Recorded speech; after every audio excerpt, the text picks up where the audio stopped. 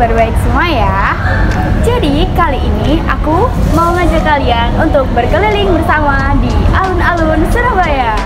Lokasi alun-alun Surabaya ini tepatnya di Jalan Gubernur Suryo nomor 15, Kelurahan Embong Kaliasin, Kecamatan Genteng, Kota Surabaya.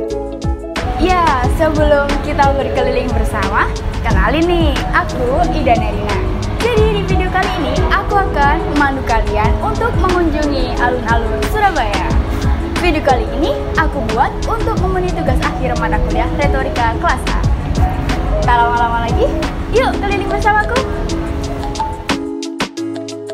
Di dalam alun-alun Surabaya ini terdapat juga perpustakaan umum kota Surabaya dan tempat-tempat lain seperti Balai Pemuda, Gedung Merah Putih, dan lain-lain yang cocok kalian kunjungi saat kalian ke sini.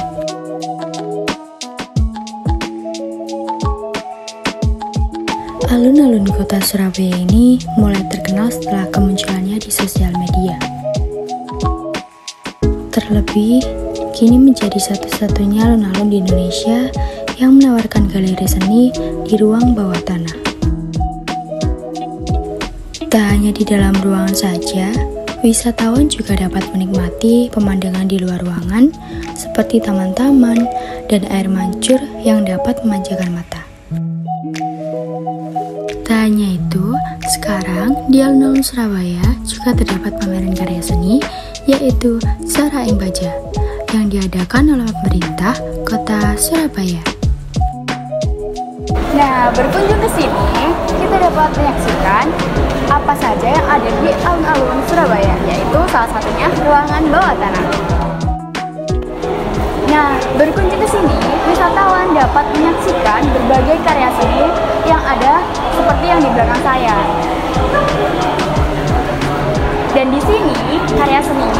diganti secara berkala loh, agar wisatawan yang berkunjung tidak bosan. Kalian juga dapat berfoto ya di sini sepuasnya. Di sini tiketnya gratis. Kalian hanya perlu masuk melalui Peduli Lindungi.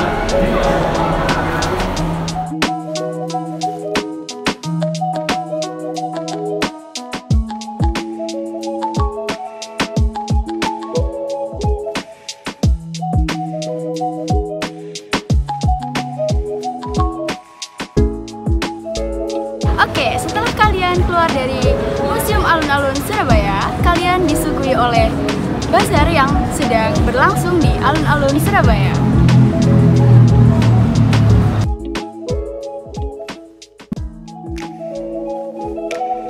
Yuk ikut aku buat beli jajan di bazarnya.